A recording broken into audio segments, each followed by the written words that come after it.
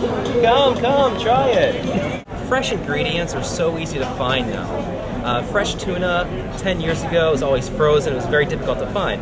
Now, fresh tuna, we, we can find it a, a, block away at our local grocery store, and it tastes absolutely amazing. We uh, sold out of tuna ceviche today, and now we're going to sign books and hang out and talk to everybody from Greenwich Village. Fresh local ingredients. So like today we have fresh, uh, fresh chicken, fresh scallops. I'm going to show you how to make the scallop ceviche. It's going to take five minutes. The, the acid in the, in the lime juice that really cuts through the protein in the scallops, similar to like how we cure meat, uh -huh. like cured ham, cured meat, okay. pepperoni, stuff like that. Well, it's the same way. It's a cooking process without heat.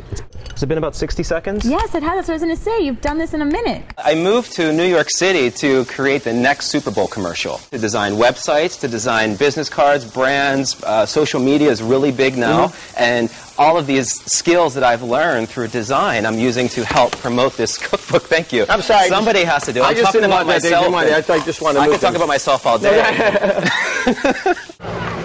Hi, this is Chad Carns, author of the Gourmet Bachelor Cookbook. We're here at the French Culinary Institute. We're going to check out New York Experience. I'm here with famous Iron Chef Morimoto. Hi, this is Chad Carns, author of the Gourmet Bachelor Cookbook, and tonight is Friday Night In. With just a few fresh, local ingredients. I'm going to show you how easy it is to cook gourmet.